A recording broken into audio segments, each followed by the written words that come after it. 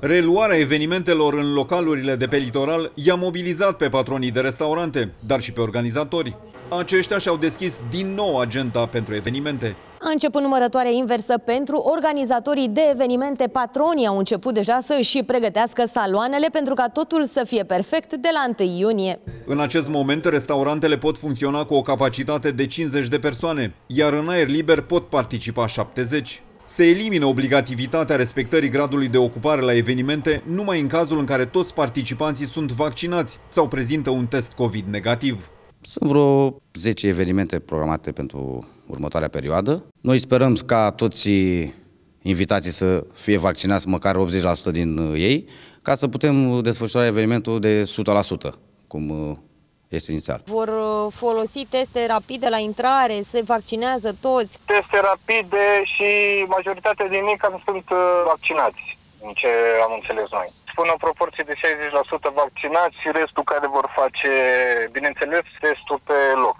Asta că vor suporta mirii, bănuiesc.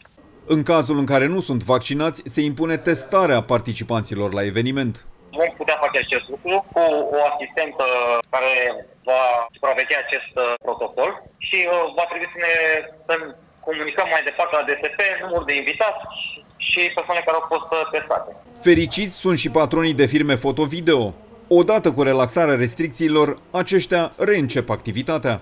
Acum vor să revină în 2021, locurile se ocupă foarte repede deja, așteptăm și noi să începem activitatea după o lungă pauză. Am început să venim cu o reducere de 10-15%. Chiar dacă unele restricții s-au mai relaxat, reprezentanții Resto continuă discuțiile cu autoritățile pentru a se renunța la aceste măsuri nu găsesc că este oportun să organizez o nuntă sau un botez cu asistentă medicală la ușă sau cu uh, un bodyguard care eventual să verifice certificatele de vaccinare. Uh, sunt uh, încă în discuție aceste restricții, de aceea organizăm evenimentul la care să discutăm aceste aspecte. În ultima perioadă, nunțile s-au mutat în Grecia, spun agențiile de turism. Aceștia vând tot mai multe pachete pentru constanțeni în această destinație, iar organizatorii de evenimente s-au ocupat integral de eveniment pentru ca totul să iasă perfect.